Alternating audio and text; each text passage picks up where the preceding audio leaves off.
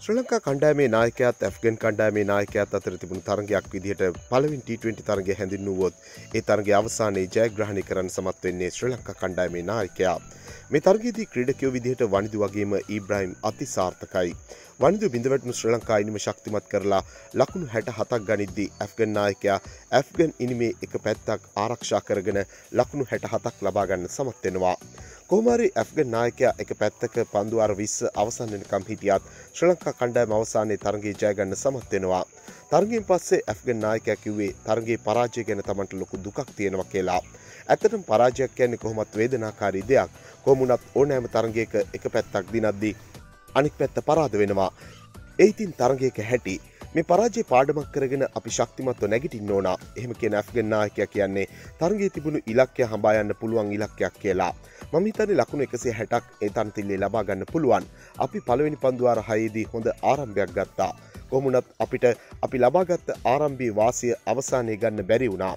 අපි මැද කඩලු බිඳ වැටීම එක්ක ශ්‍ර ලංකා කණ්ඩායම වේගෙන් තරගයට ආවා. ඉබ්‍රහිම් කියන්නේ තමන්ගේ කණ්ඩායමෙන් තරගේ උදුරගත්තේ ශ්‍ර ලංකා පන්දු යවන්න කියලා. මම නම් හිතන්නේ අපි හොඳට පන්දුවට පහර දෙමින් ඉද්දී ශ්‍ර ලංකා පන්දයවන්න අපේ කඩලු බින්දවීම එක්ක තමයි තරගය අපෙන් දුරස් වනේ ඒක සම්පූර්ණ ගෞරවේ ශ්‍ර ලංකා පන්දු යවන්නන්ට හිමිවෙන්න ඕනා. මොක දෙයාලා තමයි අපේ අතේ තිබුණු තරගය අපෙන් උදුර ගත්තේ රශිට් කාන් තරගාවලට සෙල්ලම් කරන්නේ නැති නිසා නායකත්වය වගකීම ලැබෙන මේ තරුණ ක්‍රීඩකයා ශ්‍ර ලංකාවට එරෙහිව ලබාගත්ත අර්ධ ශතකය ගැන කියන්නේ මේම කතාවක්. සතුටක් තියෙනවා මම සෙල්ලම් කළ ඉනිම ගැන. හැබැයි එක සමරන්න තිබුණා තරගේ දිනුවනම්.